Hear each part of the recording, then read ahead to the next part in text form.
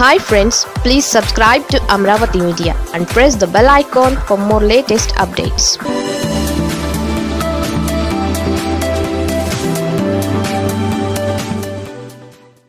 Justice Rakesh Kumar, Indukila నిన్న మొన్నటి వరకు ఆంధ్రప్రదేశ్లో రాజ్యాంగ విచ్ఛిన్నం జరుగుతుందని అలా చేసి రకరకాల మాటలు అని మీడియా పతాక శీర్షికల్లో ఎక్కిన హైకోర్టు న్యాయమూర్తి జస్టిస్ రాజేష్ కుమార్ తీరు ఇప్పుడు ఆశ్చర్యానికి సంభ్రమాశ్చర్యానికి మధ్యన ఊగిసలాడుతోంది. ఆయన ఎందుకు అలా రియాక్ట్ అవుతున్నారు? ఎందుకు అలా మాట్లాడుతున్నారో అర్థం కాక న్యాయ నిపుణులు సైతం నోరెళ్ళబెడుతున్నారు రోజుకో ప్రెస్ స్టేట్మెంట్ను వదులుతూ తెలుగుదేశం పార్టీ అనుకూల మీడియాలో పతాక శీర్షికలో వచ్చేందుకు ఆయన పడుతున్న ఆరాటం నవ్వు తెప్పిస్తోంది అని న్యాయ నిపుణులు అభిప్రాయపడుతున్నారు. తాజాగా ఆయన చేసిన కామెంట్ ఏంటంటే ఊపిరి ఉన్నంత వరకు న్యాయ వ్యవస్థను కాపాడుతా అని. ఈ వ్యాఖ్య ఇప్పుడు చర్చనీయాంశంగా మారుతోంది. రాష్ట్ర ప్రభుత్వం పైన హైకోర్టులో ఉన్న కేసుల్లో రాకేష్ కుమార్ బెంచ్లో ఉన్న కేసులు ఐదు. వాటిలో అన్నింటిపైన రాకేష్ కుమార్ తీవ్ర వ్యాఖ్యలు చేశారు. ఒకనొక సందర్భంలో కేసులో ఆయన అసహనం వ్యక్తం చేయడమే కాక కంట్రోల్ కోల్పోయి ఆంధ్రప్రదేశ్లో రాజ్యాంగ విచ్ఛిన్నం జరుగుతుందని వ్యాఖ్యలు చేయడం పెద్ద సంచలనమైంది. ఇది తెలుగుదేశం పార్టీ అనుకూల మీడియాలో పతాక శీర్షికలుగా వచ్చింది. అయితే తాజాగా జగన్ ప్రభుత్వం పలు కేసుల నుంచి రాకేష్ కుమార్ను విచారణ నిర్వహించకుండా తప్పించాలని అఫిడవిట్లు దాఖలు చేసింది. రెండు కేసుల్లో ఇప్పటికే రాకేష్ కుమార్ విచారణ వద్దని ప్రభుత్వం అఫిడవిట్లు వేయడంతో పాటు దీనిపైన వాదనలు వినిపించేందుకు ప్రభుత్వ న్యాయవాదులు సిద్ధమయ్యారు.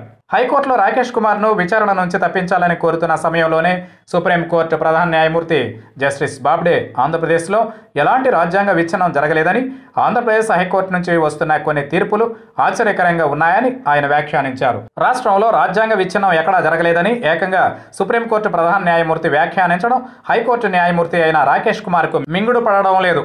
ఏ కోర్టు అయినా ఏ న్యాయ వ్యవస్థ అయినా రాజ్యాంగం పరిరక్షణకు మాత్రమే పనిచేయాల్సి ఉంటుంది. అందరికీ ఒకటే రూల్ ఒకటే వర్తింపు ఉంటుంది. అలాంటిది రాకేష్ కుమార్ తీరు పట్ల ఏకంగా సుప్రీంకోర్టు ప్రధాన న్యాయమూర్తి స్పందించారు అంటే పరిస్థితి ఎంత దిగజారిందో అర్థం చేసుకోవచ్చు. రాకేష్ కుమార్ తీరు మీద మొదటి నుంచి జగన్ ప్రభుత్వం గురుగానే ఉంది.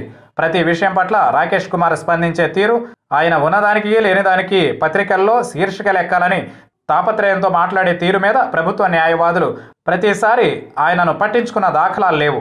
కేవలం నోటికి ఏది వస్తే అది ప్రభుత్వం పైన విరుచుకుపడడం ప్రతిపక్ష నాయకులకు సమానంగా ఆయన చేశారనే ఆరోపణలు ఉన్నాయి. ఈ నేపథ్యంలోనే ప్రభుత్వం తగిన ఆధారాలు సమర్పిస్తూ అఫిడవిట్లు వేసి రాకేష్ కుమార్ను విచారణ నుంచి తప్పించాలని కోరింది. సుప్రీంకోర్టు ఇచ్చిన సూచనలు ఆదేశాల మేరకు ఓ కేసులో న్యాయమూర్తి ఒక వర్గానికి అనుకూలంగా వ్యవహరిస్తున్నారని భావిస్తే దానికి తగిన ఆధారాలు అఫిడవిట్ చూపించి ఆ న్యాయమూర్తిని విచారణ నుంచి తప్పించి వేరే న్యాయమూర్తిని వేయాలని అడిగే హక్కు పిటిషన్దారులకు బాధితులకు ఉంటుంది. దీనినే ఆంధ్రప్రదేశ్ ప్రభుత్వం పాటించింది. దీనిలో ఎక్కడా తప్పు లేదు. ఈ అఫిడవిట్లు దాఖలు చేసిన దగ్గర నుంచి రాకేష్ కుమార్ తీరు మరో రకంగా మారింది. మధ్యలో సుప్రీంకోర్టు ప్రధాన న్యాయమూర్తి వ్యాఖ్యలు ఆయనను మరింత ఇరుకున పెట్టడంతో ఆయన క్రొత్త క్రొత్త వ్యాఖ్యలు చేస్తూ న్యాయ వ్యవస్థ మీద తనకు అపార నమ్మకం ఉందని న్యాయ వ్యవస్థను తానే కాపాడుతున్నట్లు మాట్లాడడం హాస్యాస్పదంగా అనిపిస్తోంది. దానికి తెలుగుదేశం పార్టీ అనుకూల మీడియా పెద్ద పెద్ద శీర్షికల్లో వేయడం రోజువారీ దాన్ని బాంబాట్ చేయడం అలవాటుగా మారింది. అయితే న్యాయ నిపుణులు మాత్రం రాకేష్ కుమార్ ఏదో చెప్పాలని తాపత్రయపడుతున్నారని ఈ నెల చివరిలో పదవి విరమణ చేయనున్న ఆయన నేరుగా తెలుగుదేశం కార్యాలయానికి వెళ్ళి ప్రెస్ మీట్ పెట్టినా ఆశ్చర్యం లేదని వ్యాఖ్యానిస్తున్నారు.